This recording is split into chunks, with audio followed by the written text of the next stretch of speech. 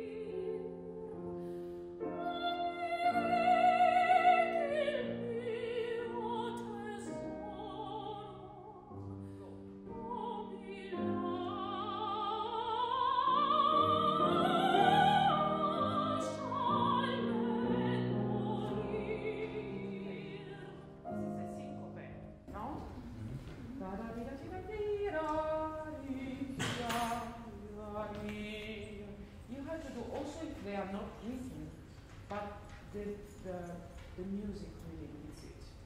Mm.